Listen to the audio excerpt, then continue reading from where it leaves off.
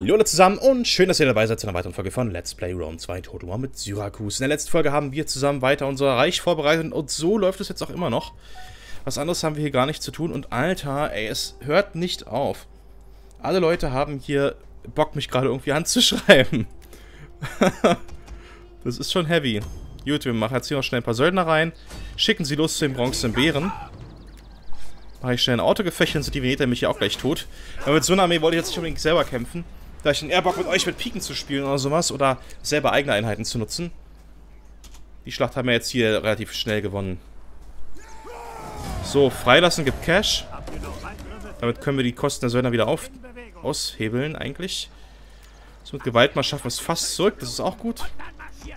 Dann lösen wir hier mal auf. Wie sieht es hier aus? Ja, wir werden jetzt hier wohl nächste Runde eine Rebellion haben, außer wir organisieren Spiele. Und das werden wir jetzt auch tun. Damit können wir verhindern, dass wir eine Rebellion in Magna Grecia schon wieder haben. Das ist echt knackig. Da brauche ich auf jeden Fall eine kleine Garnisonsarmee. Die hier Stellung bezieht. So, jetzt haben wir immer noch Cash übrig. Was wir nutzen können. Und es gibt nicht viele Regionen, die man hochbauen kann und trotzdem noch Nahrung bekommt. Also machen wir das auf jeden Fall hier in dieser Region. So, den Freilaufmarkt werden wir auch hier mal schnell bauen. Das Geld steigert sich jetzt hier in der Provinz. Wir sind schon bei 1800 mittlerweile. Zufriedenheit ist sowieso top, kann man nicht meckern. Hier hingegen aber ein Flop. Hier sieht es auch mit dem Geld fast genauso gut aus, erstaunlicherweise sogar. Wow.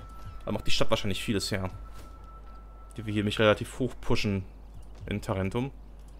Danach, Nikanor und Helena sind aufgestiegen. Sehr gut, dass Nikanor wieder aufgestiegen ist. Hm, hm, hm. Dann gibt es wieder Infanteriekommando, nicht wahr? Ja. Mach das mal. Heftigst, Alter. Wie der sich hochleveln wird, ey. Ich finde das cool. Das pusht wirklich hart. Okay. Wie kann ich dem Volke dienen? Hm, hm, hm. Hier wird auch weiter rekrutiert, äh, gebaut, super. Hier, unsere Flotte ist auch schon wieder ein bisschen stärker geworden. Schauen wir mal, dass wir jetzt in nächster Zeit dennoch weiter so eine gute Produktion haben hier. Finde ich super. Also, wir hauen da auch die Gebäude gerade raus und auch diese Stadien da, die werden die Zufriedenheit so extrem hoch pushen, dass wir damit kein Problem haben werden mit Samnium mehr. Aber Samnium ist nur eine Wirtschaftsprovinz. Äh, mm. enden und niemandem große Ehre bescheren. Meine Ahnen raten zufrieden. Was sagt ihr dazu? Wir werden die noch bestechen mit Geld. Ich könnte ein paar Runden warten, habe ich genug Geld, um die sogar zu bestechen. Dass sie das Klientelkönigtum aufbrechen, könnten halt eine Rom Problem. Ein richtiges Problem. Alter. Die leveln hier alle immer noch auf. So, Rebellion bevorstehend. Wir schaffen es, super. So, der Agent ist hier weiter aufgestiegen. Was hat er hier noch für Fähigkeiten? Rekrutierungsplatz bei der... Oh mein Gott. Oh. Heftigst. Oh mein Gott, ey. Oh mein Gott.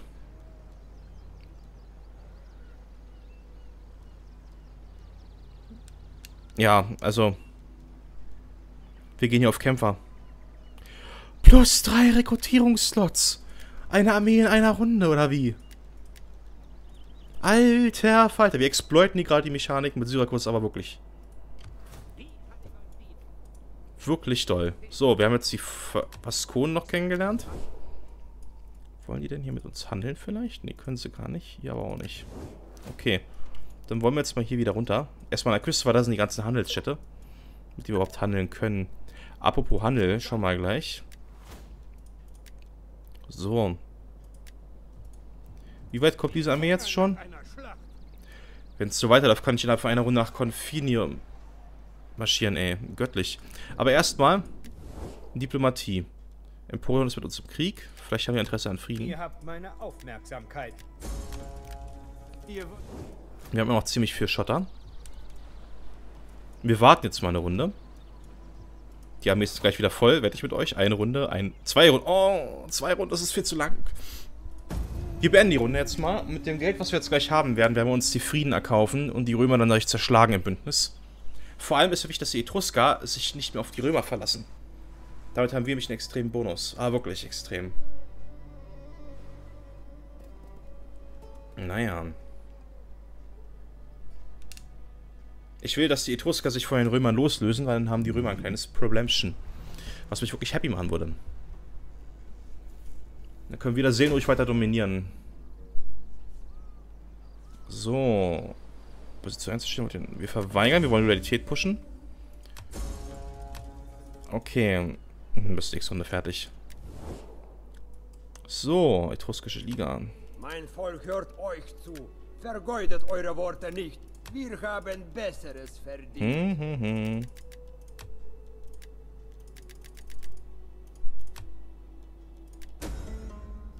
Unser Kampf wird böse enden Hm. und niemandem große Ehre bescheren. Wir brauchen mehr Geld. Seid gegrüßt. Seid nicht so Wir können hier mal Geld anbieten. hätte Man euch die Zunge aus dem So. Dienste meines Volkes. Ich verbringe meine Zeit. Hm, hm, hm. Ihr habt meinen Gruß und Sehr gut. nun seid willkommen. Ich will Kein Interesse an einem Handelsabkommen, okay. Die Veneter. Götter des Jenseits, verschont mich! Frieden ist nicht nach unserem Geschmack. Das Schwert dagegen schon. Die So. Götter werden die Stirn runzeln. Trag eure Anliegen gut und schnell vor. Sprecht ihr schlecht oder langsam, verfüttere ich eure Zunge vielleicht an die Hunde. Alter.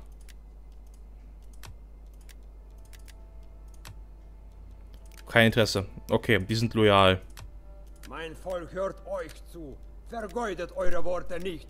Wir haben... Be So. Stimme im Namen unseres Volkes zu. Lass dies ein Zeichen des Guten sein. Hm.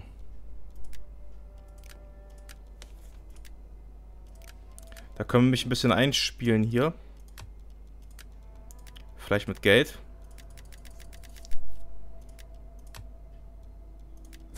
Wisst ihr was? Wir versuchen mal die Etrusker da Die Götter auszuspalten werden hier. das nicht so lassen. Allen Vorzügen zum Trotz genug es nicht, um sie ruhig zu stimmen. Wir können ja gucken, ob wir mit denen handeln können vielleicht. Nee, können wir nicht, aber wir gucken mal. Porion vielleicht? seid willkommen. Aber strafe uns an. Nee, aber ich habe uns jetzt ein bisschen leichter gemacht mit dem Krieg hier. Das möchte ich auch nutzen. Wir sparen mal die Kohle noch ein bisschen an. Und wir werden nochmal danach den Etruskern Geld anbieten für das Verlassen des Klientelkönigtums mit Rom. Ein Friedensangebot von uns sollte nicht verschmäht werden. Nö. Nö. ja, wir haben ihre ganz schöne Stärke gerade genommen. Das verschafft uns ja ein bisschen Hilfe. Im Kampf dagegen. Ich möchte eigentlich gerne die Römer aufteilen durch, Finan äh, durch Diplomatie, dass die Etrusker mir eventuell sogar helfen. Das wäre ziemlich heavy. Okay. Diplomatie. Versuchen wir es nochmal. Eine flatternde Zunge, die ohne Weisheit spricht, ist nicht willkommen. Seid wie die Spitze eines Speers. Kommt auf den Punkt. Haha! Hm. Wir geben dem mal einfach 2000 jetzt hier. Das Geschenk, sie werden uns halt lieben lernen. Geschenk an die Etruskische Liga, plus 30. Okay, ja, ein bisschen Diplomatie hier mal betreiben. Das will ich ausnutzen. Richtig schön exploiten. Gut, aber wir haben immer noch genug Schotter. Können hier sogar ausbauen. Hm. Dann wird es jetzt Zeit für einen Tempel.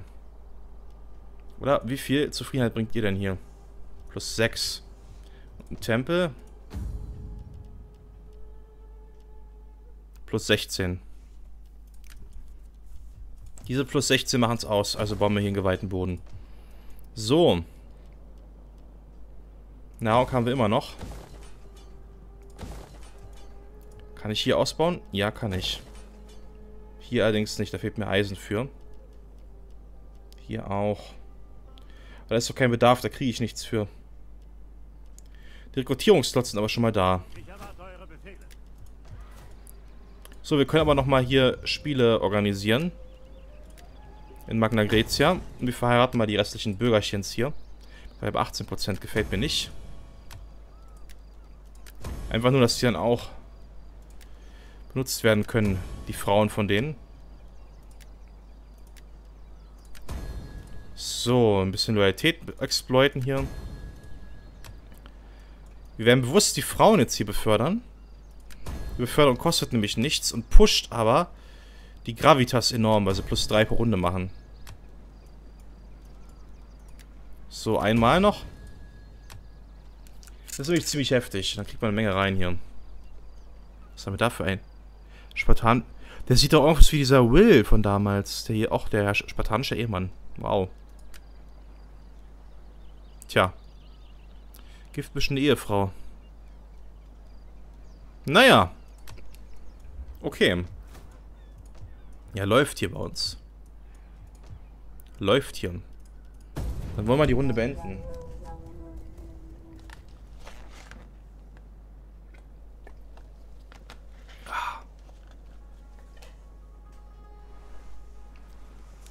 Die Katagan schenkt mir nichts so auch wieder 2000 ungefähr. Nicht die Karthager Etrusker meine ich. Ich möchte mich gern die Stärke der Römer schwächen. Weiter. Äh, Etrusker, die auf unserer Seite sind, ist halt ziemlich gut. In diesem Krieg hier. Nein. Arete ist tot. Nicht gut. Okay, wir müssen also einen neuen Würdenträger holen. Mhm.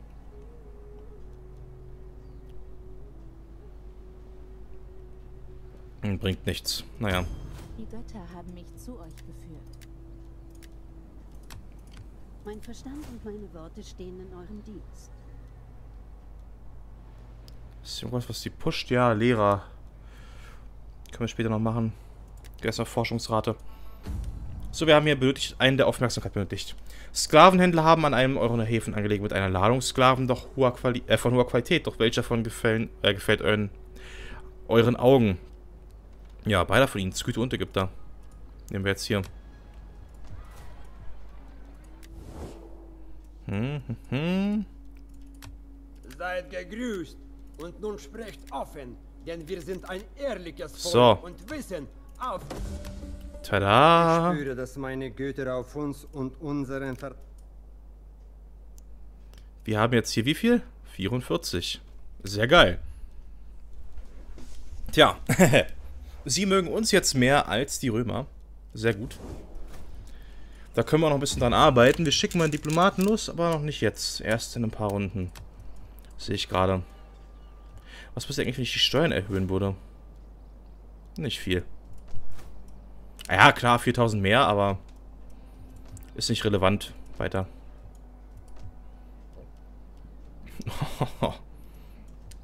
Aber auf der Nahrungsseite müssen wir wirklich aufpassen, weil das ist halt eine Gefahr, dass wir bei der Nahrung dann doch zu viel haben, eventuell. Äh, zu wenig meine ich. Na. Non mi piacelo. Das war bestimmt falsch geschrieben. Er gesagt, eigentlich muss non lo mi piace, glaube ich, heißen. Non me lo piace. Non me lo piace, genau. So müsste richtig sein, wenn ich auf Italienisch das sprechen wollen würde. Tja. Ist ja doch eine ziemlich ruhige Kampagne gerade geworden, weil wir halt viel aufbauen, viel mit der Diplomatie exploiten, aber... Hm. Ja, die überfallen, ist nicht so wichtig. Nikanor ist weiter aufgestiegen, das ist wichtig. Wertvolle Sklaven. Plus 10% zivile Forschungsrate, plus 5 Nahkampfangriff, Nahkampfqualität für Rekrutierung, sehr gut. Okay, du bist wieder aufgestiegen. Das senkt jetzt hier weiter die Einheitenkosten bei der Rekrutierung. Ich meine, guck ich das mal an. Ich zahle für Leinenpanzer in der Rekrutierung 500 nur noch.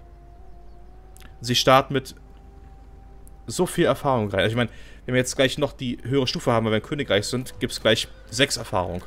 Statt nur 5. So.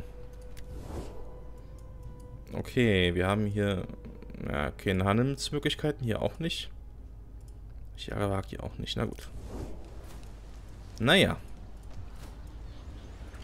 Mein Verstand und meine Worte stehen in eurem Dienst. Da kommen wir gar nicht hin, so eigentlich. Müsste ich wieder nach hier gehen. Oh, verstecke mich im Wald mit Antusa. So. Und wir schleimen uns weiter bei den Etruskern hoch. Seid gegrüßt, mein Freund. Ich habe gutes Bier bestellt, um eure Kehle zu lockern. Und ha! Ja, sie lieben uns. Wir werden über die heute geäußerten Worte erfreut sein. Ihr irrt und Plus 54 mittlerweile. Ah, das bringt gar nicht mehr so viel, wie ich sehe. Die Geschenke an die Etruskische Liga. Setzt euch, mein Freund. Ihr seid... Hm, auch noch vorsichtig müssen wir sein hier. Okay, also. Wir können weiter bauen. Hier haben wir plus 16 Zufriedenheit. Bauen wir mal einen heiligen Hain. Kultur ist eigentlich so ganz zufriedenstellend. Wenn wir jetzt hier um 2 reduzieren, ist okay. Dann bauen wir mal ab. Dann bauen wir jetzt die richtige Gebäude, die richtig Geld bringen. Diese Region ist immerhin der Geldmagnet. Momentan nur 2000, wir wollen noch mehr haben.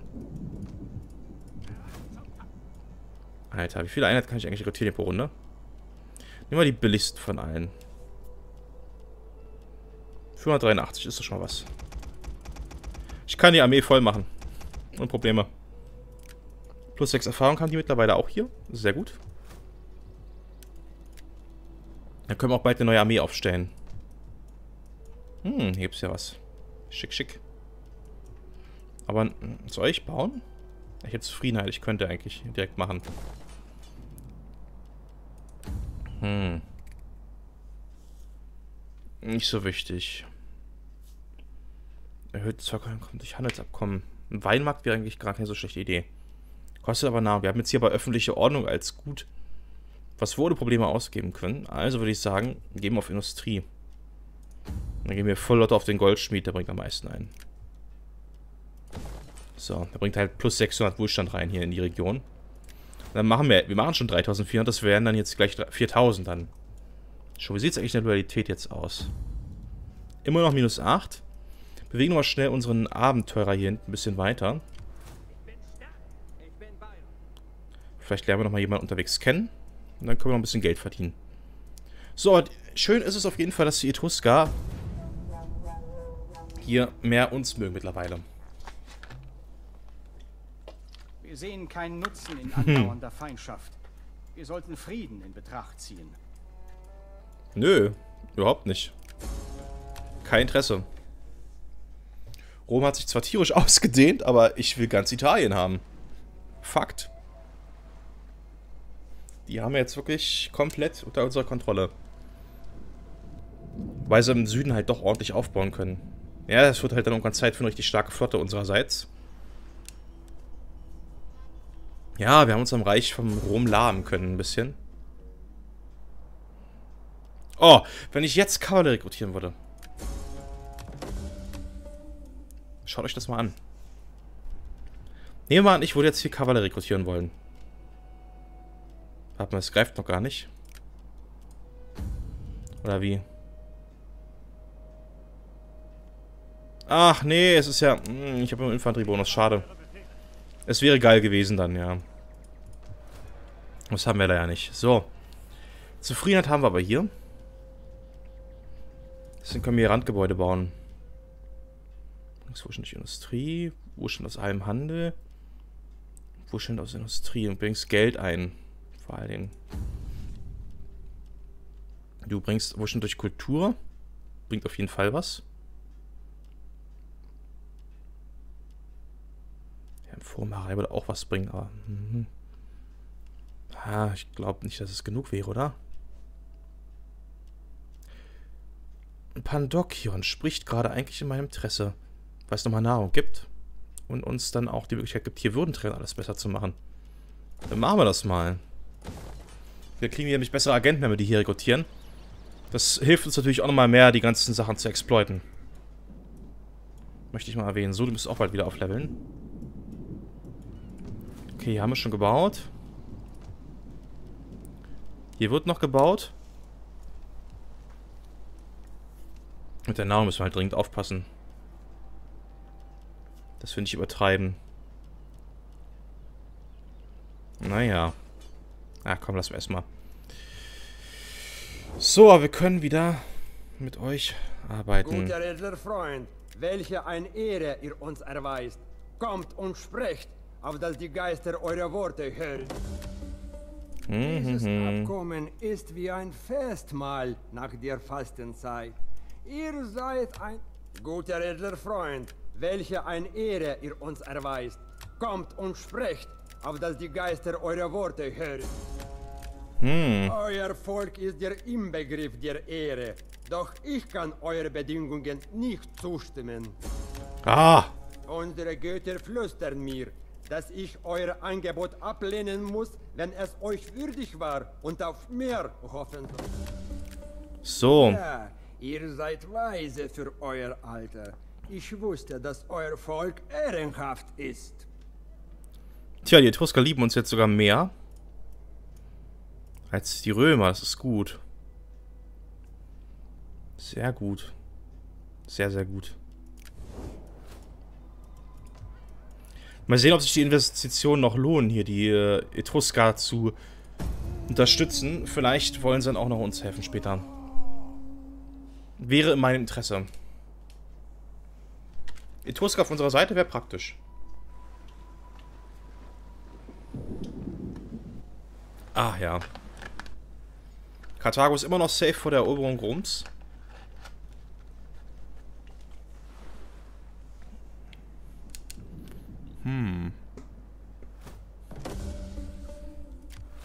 Hingabe zu den Göttern zahlt sich aus. Schutzversuch. Beneventum. Wie kann ich dem Volke dienen? Okay, wie sieht's denn hier aus? 82. Sicher, wir müssen reden, aber wir brauchen auch gutes Essen, ein warmes Feuer und noch wärmere Weiber.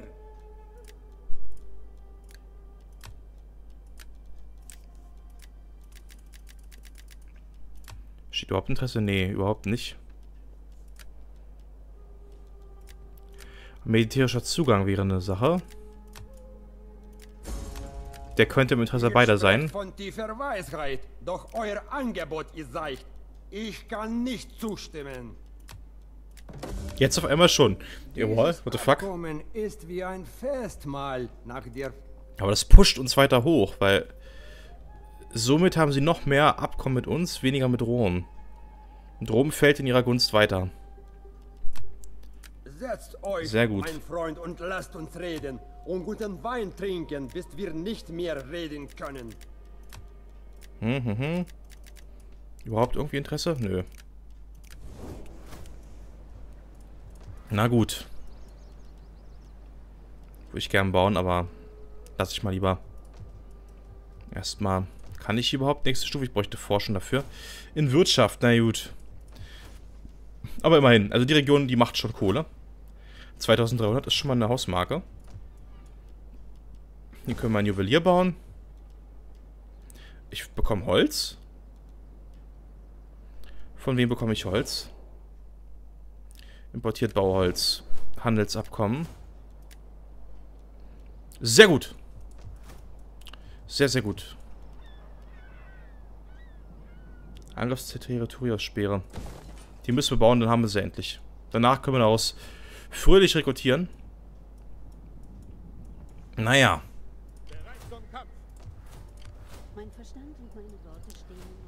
Okay, dann beenden wir mal die Runde.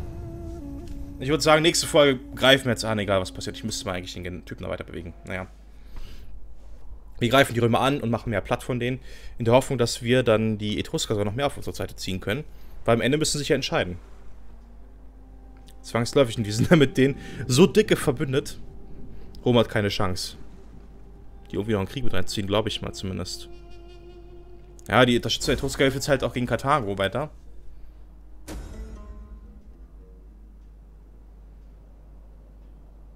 Hm. Ne, wir nehmen ruhig an, den Charakter. Unsere Spionin steigt auf. Sehr gut. So. Okay.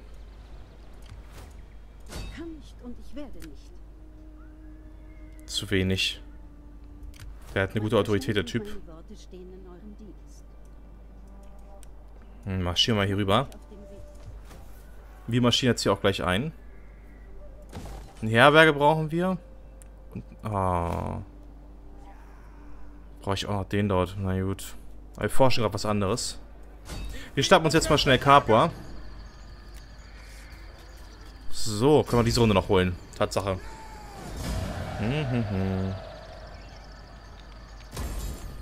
Wir plündern jetzt hier richtig hart durch. Gibt uns halt ordentlich Schotter für die nächsten Bauvorhaben, die wir haben. Und wir könnten eine neue Armee aufstellen mal hier. Würde ich mal. Kriegst Vermächtnis wieder. Lanze Peis. Und an der Stelle möchte ich auch den Kampf, äh, den Kampf, die Folge für heute beenden. Ich hoffe, euch hat es gefallen. Schreibt eure Meinung in die Kommentare. Wir sehen uns bei der nächsten Folge von Let's Play Rome 2 Total War mit Syrakus. In diesem Sinne, denkt daran, mich zu abonnieren zu liken. Das unterstützt mich und kostet euch keinen Cent. Ihr könnt auch noch finanziell mich unterstützen. Dafür könnt ihr unten den Link in der Videobeschreibung anklicken und Mitglied werden von diesem Kanal.